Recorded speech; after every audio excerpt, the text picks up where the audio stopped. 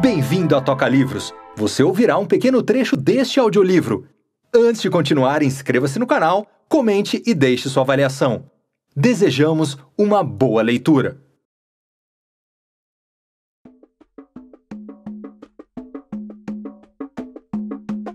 Toca Livros e Grupo Editorial Aruanda apresentam O Espiritismo, a Magia e as Sete Linhas de Umbanda, de Leal de Souza.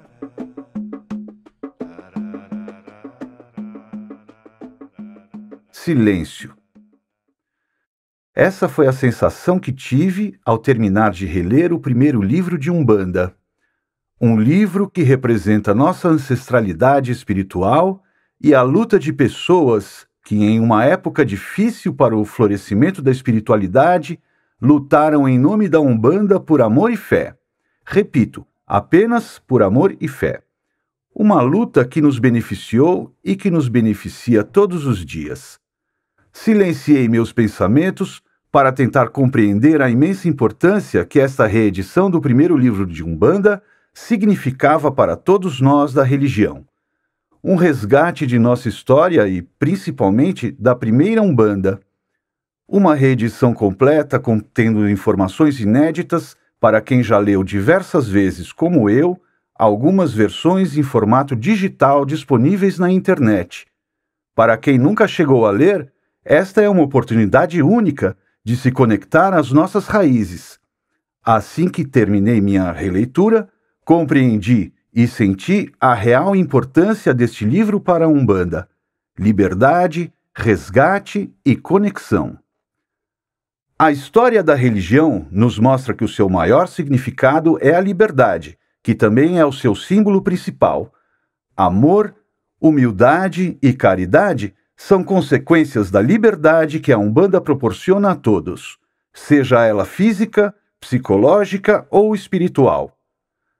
A Umbanda nasceu de uma miscigenação entre povos escravizados e culturas elitistas, mostrando claramente que podemos e devemos viver para sermos livres. O livro mais importante da Umbanda, em minha opinião, nasce das mãos de Leal de Souza, que foi o primeiro autor a esclarecer a religião a partir de diversos artigos que viriam a se tornar o primeiro livro sobre o assunto. Na época, a Umbanda começava a se estabelecer na casa de Zélio Fernandino de Moraes e nos quatro cantos do Brasil, de forma silenciosa, mas intensa. O primeiro congresso de Umbanda ainda não havia sido realizado e poucos movimentos de outras vertentes da Umbanda haviam se manifestado no Rio de Janeiro. Antes de iniciar sua série de artigos, Leal de Souza já havia montado uma enorme investigação sobre as diversas práticas espirituais existentes no Rio de Janeiro, veiculadas no jornal A Noite, que originou o livro No Mundo dos Espíritos, 1925, no qual a Umbanda é retratada pela primeira vez em um capítulo intitulado O Centro Espírita Nossa Senhora da Piedade. Após alguns anos, em 1932, no Diário de Notícias da Capital Federal, com o objetivo de elucidar alguns pontos do Espiritismo de linha, Leal de Souza volta a escrever sobre a religião e determinadas práticas que não eram vistas com bons olhos pela sociedade. Dessa vez, a sua real intenção era distinguir a Umbanda de qualquer outro culto ou prática, do falso espiritismo do baixo espiritismo, da magia negra, da feitiçaria e da macumba. Nota-se que Leal de Souza escreve com muitos detalhes sobre todos os tipos de práticas espirituais realizadas no Rio de Janeiro, explicando cada uma delas até chegar na de Zélio. Na época, o jornalista catalogou 99 subdivisões do Espiritismo, mostrando que essa religião poderia ser praticada de diversas formas. Com esse pensamento, Leal começa a construir um caminho de aceitação para a Umbanda, que até então era considerada uma vertente do Espiritismo, inicialmente no Rio de Janeiro, que era o berço pulsante de diversos cultos. Em 27 de novembro de 1932, Leal de Souza escreve o artigo que daria início a uma série de outros dedicados apenas à linha branca de Umbanda e Demanda. Nesse conjunto de textos, o autor discorre sobre tudo o que aprendeu na tenda espírita Nossa Senhora da Piedade, com Zélio de Moraes, com o caboclo das Sete Encruzilhadas e com Pai Antônio. Aquele que ouvir este audiolivro com os ouvidos atentos e com o coração aberto, certamente ganhará um grande tesouro, o retrato inicial da Umbanda, nossa tradição. Esteja liberto de seus conhecimentos atuais sobre a religião e mergulhe neste audiolivro, que nos conta um pouco sobre o cenário daquela época. Não faça uma audição aplicando o contexto atual, mas permita que a sua mente entenda o momento político e social no qual o Brasil, e principalmente o Rio de Janeiro, se encontrava. Antes de terminar, Deixo aqui minha emoção por poder visitar mais uma vez o capítulo que fala sobre o Caboclo das Sete Encruzilhadas, no qual Leal de Souza aborda como a entidade recebeu a missão de anunciar a Umbanda. Estava esse espírito no espaço, no ponto de interseção de sete caminhos, chorando sem saber que rumo tomar, quando lhe apareceu, na sua inefável doçura, Jesus. E, mostrando-lhe em uma região da terra as tragédias da dor e os dramas da paixão humana, indicou-lhe o caminho a seguir, como missionário do consolo e da redenção. Em lembrança desse incomparável minuto de sua eternidade e para se colocar ao nível dos trabalhadores mais humildes, o mensageiro do Cristo tirou seu nome do número dos caminhos que o desorientavam e ficou sendo o Caboclo das Sete Encruzilhadas. Desejo a você, meu irmão em Deus e Oxalá, que aprecie com entusiasmo cada parte desse audiolivro e sinta toda a importância que ele teve e tem para a nossa Umbanda. Que Deus, Oxalá, Zélio, Caboclo das Sete Encruzilhadas, Pai Antônio, Orixá Malê e Leal de Souza nos abençoem e nos permitam ter forças para continuar a fazer a Umbanda florescer. Salve a Umbanda! Nicolas Peripoli, médium umbandista, na voz de Daniel Zafran. Prólogo: Espiritismo, Magia e as Sete Linhas de Umbanda. Rio de Janeiro, terça-feira, 8 de novembro de 1932 por redação do Diário de Notícias.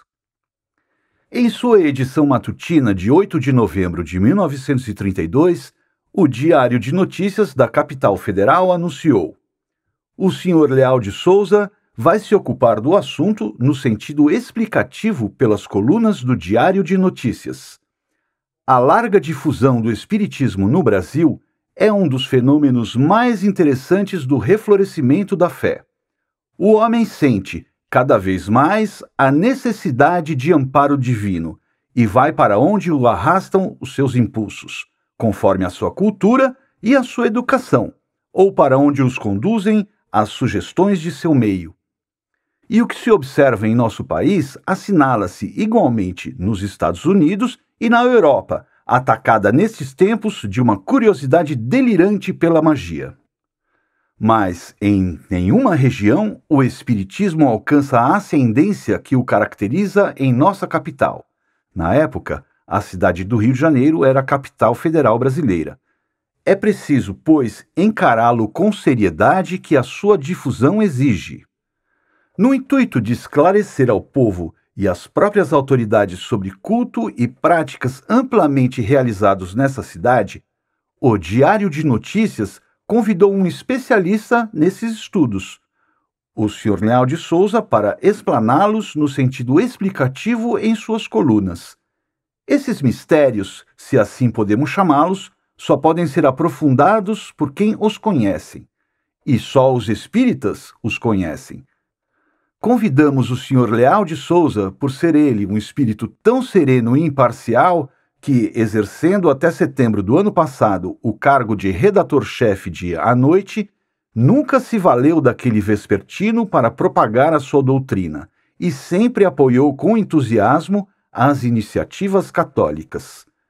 O Sr. Leal de Souza já era conhecido pelos seus livros quando realizou o seu famoso inquérito sobre o Espiritismo. No mundo dos espíritos, alcançando grande êxito pela imparcialidade e indiscrição com que descrevia as cerimônias e fenômenos, então quase desconhecidos de quem não frequentava os centros. Depois de convertido ao Espiritismo, o Sr. Leal de Souza fez durante seis anos, com auxílio de cinco médicos, experiências de caráter científico sobre essas práticas, e principalmente sobre os trabalhos dos chamados caboclos e pretos. O Sr. Leal de Souza, nos seus artigos sobre o Espiritismo e as sete linhas de Umbanda, não vai fazer propaganda, mas elucidação mostrando-nos as diferenciações do Espiritismo no Rio de Janeiro, as causas e os efeitos que atribui às suas práticas, dizendo-nos o que é e como se pratica a feitiçaria, tratando não só dos aspectos científicos, como ainda da linha de santo, dos pais de mesa, do uso do defumador, da água, da cachaça, dos pontos, em suma, da magia negra e da branca. Esperamos que as autoridades incumbidas da fiscalização do Espiritismo e muitas vezes desaparelhadas de recursos para diferenciar o joio do trigo e o povo, sempre ávido de sensações e conhecimentos, compreendam em sua elevação os intuitos do Diário de Notícias. A partir do dia 10 de novembro, iniciaremos a publicação dos artigos do Sr. Leal de Souza sobre o Espiritismo, a magia e as sete linhas de Umbanda. É a primeira série desses artigos escritos diariamente ao correr da pena que constitui este audiolivro. Primeiro, explicação inicial. Rio de Janeiro, quinta-feira, 10 de novembro de 1932. O Espiritismo não é clava para demolir, é uma torre em construção e, quanto mais se levanta, tanto mais alarga os horizontes e a visão de seus operários, inclinando-os à tolerância pela melhor compreensão dos fenômenos da vida. Como nos ensina o seu codificador, o Espiritismo não veio destruir a religião, mas sim consolidá-la e revigorar a fé, trazendo-lhes novas e mais positivas demonstrações da imortalidade da alma e da existência de Deus. As religiões, sabem-no todos, são caminhos diversos e às vezes divergentes, conduzindo ao mesmo destino terminal. O indivíduo que abraça com sinceridade uma crença e cumpre de consciência reta os seus preceitos está sob a assistência de Deus, pois mesmo as regras que aos seus contrários parecem absurdas ou degradantes, como a confissão no catolicismo ou a bênção solicitada aos pais de terreiro no espiritismo de linha, revelam um grau de humildade significativo de radiosa elevação espiritual. Seria negar a Deus os atributos humanos da inteligência e da justiça, admitirmos que o Criador fosse capaz de desprezar ou punir as suas criaturas, porque não o amam do mesmo modo, orando com as mesmas palavras, segundo os mesmos ritos. Deus não tem partido e atende a todos os seus filhos de onde quer que o chamem com amor e fé, de onde quer que parta a prece do coração de um cardeal ajoelhado na glória suntuosa de um altar, ou saia a oração do peito de um sertanejo, caído no silêncio pesado da selva. Os homens é que escolhem por sua cultura ou pelas tendências de cada alma em seu núcleo de evolução a maneira mais propícia de cultuar e servir a divindade. Com essas ideias, é claro que não venho provocar polêmicas, e seria desconhecer os intuitos do Diário de Notícias aventurar-me à propaganda agressiva dos meus princípios. Pretendo, nestes artigos, esclarecer, quanto o permitam os meus conhecimentos, práticas amplamente celebradas nessa capital, estabelecendo diferenciações pela orientação popular e mostrando a importância de coisas que, parecendo burlescas, são com frequência sérias e até graves. E pois que tratarei também e principalmente do espiritismo de linha, na fórmula da linha branca de Umbanda, salve a quem tem fé, salve a quem não tem fé. Segundo, os perigos do espiritismo. Rio de Janeiro, sexta-feira, 11 de novembro de 1932. Os perigos atribuídos ao Espiritismo são mais aparentes do que reais. A perturbação ou desequilíbrio nervoso causado pelo receio de ver fantasmas desaparece com a frequência às sessões, nas quais o trato com os desencarnados habitua às manifestações de sobrevivência da alma, pondo-as na ordem das coisas naturais. Mas as sessões nem sempre despertam aquele receio, e, conforme a natureza da reunião, algumas, empolgando pela beleza ou surpreendendo pelo exotismo das cerimônias, não inspiram, mesmo a quem a elas assiste pela primeira vez, ideia de morte ou cemitério, pensamento em duende ou defunto. Em relação à loucura, não conheço um só caso determinado pela frequência de centros espíritas. Conheço, é exato, numerosos casos de loucos que, tendo sido levados às sessões, não ficaram curados e foram internados nos hospícios como sendo vítimas do espiritismo. Desprezaram-se para isso todos os antecedentes para dar realce com ânimo combativo ao efêmero contato desses doentes com os médiums. Não se deve confundir a loucura com a obsessão. A loucura é consequência de uma lesão ou a resultante do desequilíbrio de funções orgânicas.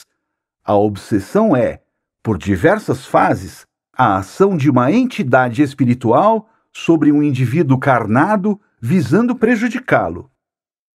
Essa influência começa por uma simples aproximação que se torna lesiva pela qualidade dos fluidos lançados pelo agente sobre o paciente, Passa depois à atuação e a inteligência deste se ressente das sugestões daquele.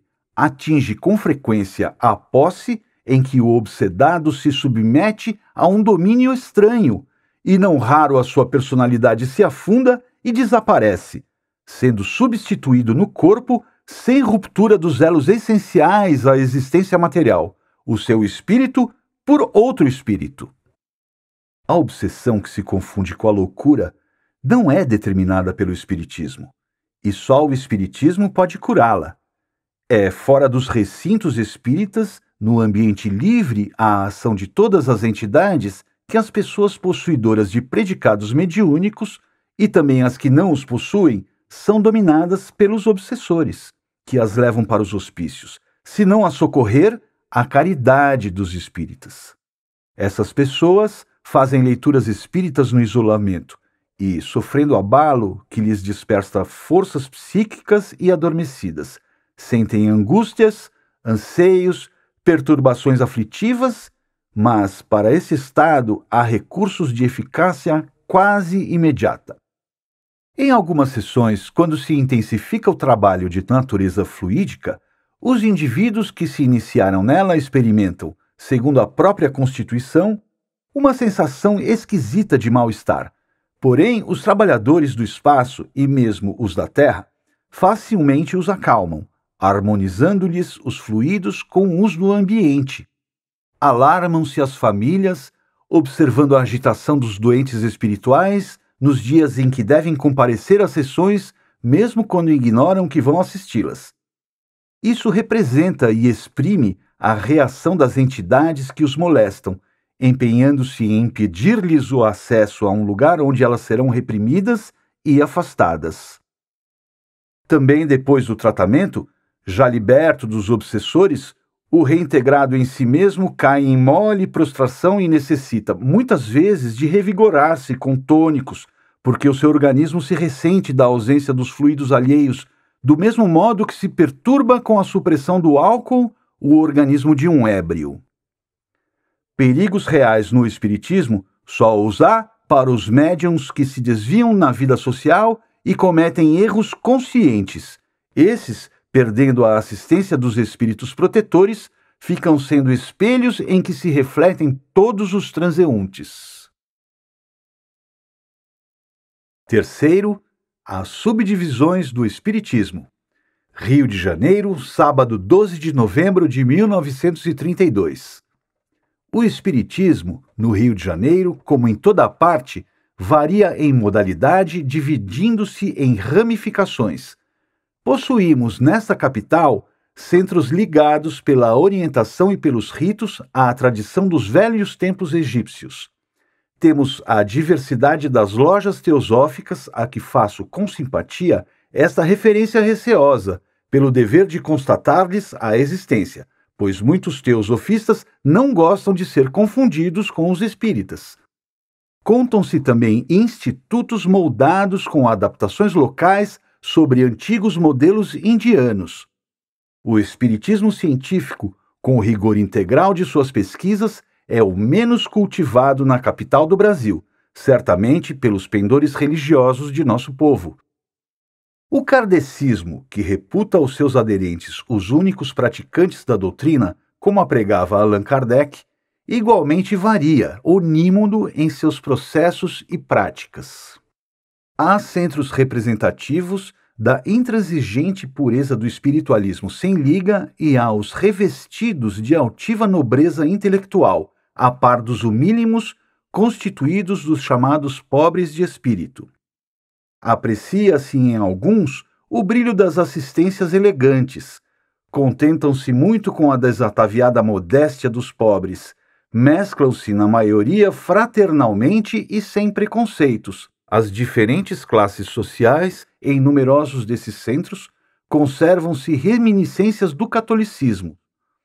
Avultam os contaminados pela linha branca de Umbanda, não faltam núcleos de fanáticos atirando pedras para todos os lados e sobram irmandades tolerantes, lançando flores em todas as direções, mas a elevação dos princípios pregados é uniforme nos centros do kardecismo.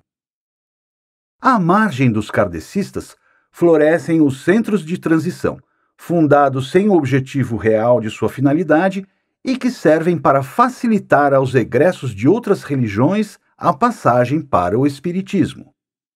Aparecem depois, no espaço em que as autoridades localizam o que chamam falso Espiritismo e o que consideram baixo Espiritismo. A macumba, com seus trabalhos compassados ao ritmo de batuques, tambores e rústicos instrumentos africanos.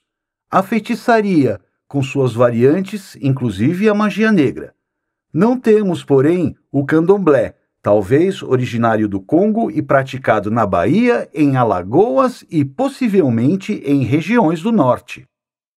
O espiritismo de linha compreende, pelo menos, 99 subdivisões ou linhas, que são as de que eu tenho conhecimento, nem todas, porém, praticadas à beira da Guanabara. Conta-se, finalmente, a linha branca de Umbanda, com as suas sete sessões, tornada poderosa, no sentido numérico, pelas necessidades de defesa da gente ameaçada pelos excessos das linhas da cor oposta à de sua designação.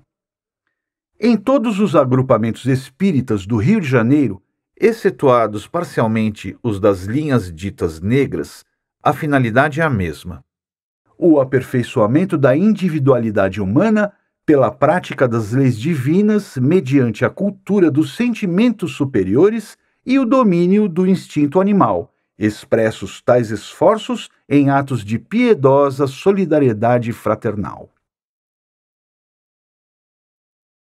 Quarto, a transfusão do pensamento. Rio de Janeiro, domingo 13 de novembro de 1932. O ativo labor dos centros espíritas, sendo vário é consagrado uniformemente, ao menos em intenção, ao bem-estar e à felicidade do próximo.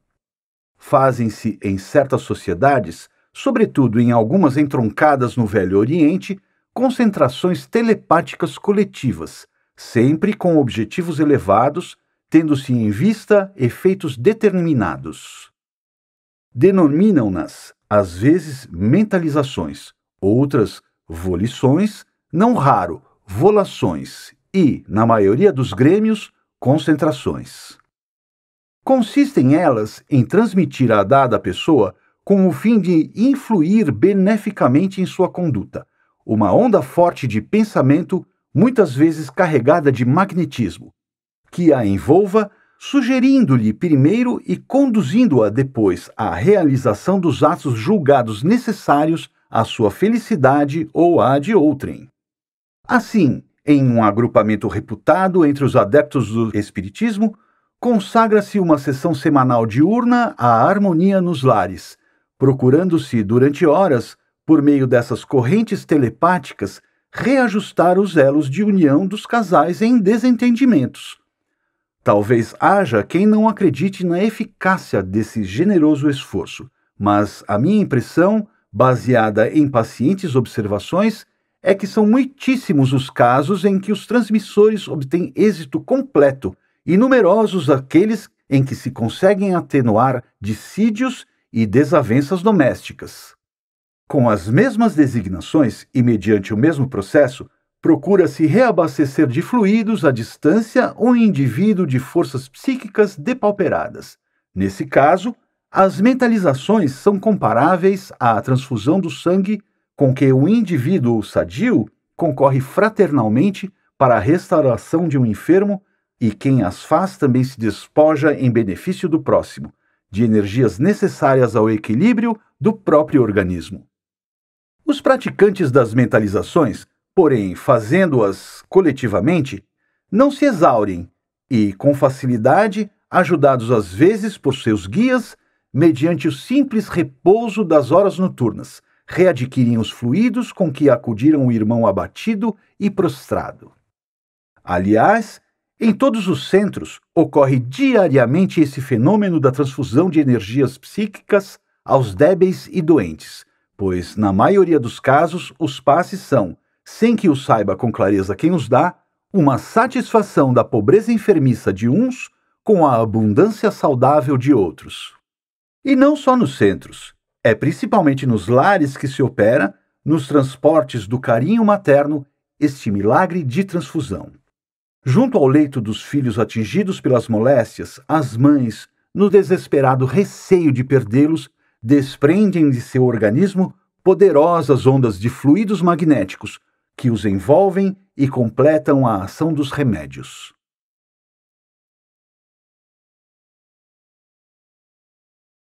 Você acaba de ouvir um trecho de um dos audiolivros da Toca Livros. A versão completa está em nossa plataforma Quer conhecer mais? Acesse tocalivros.com ou baixe nosso aplicativo.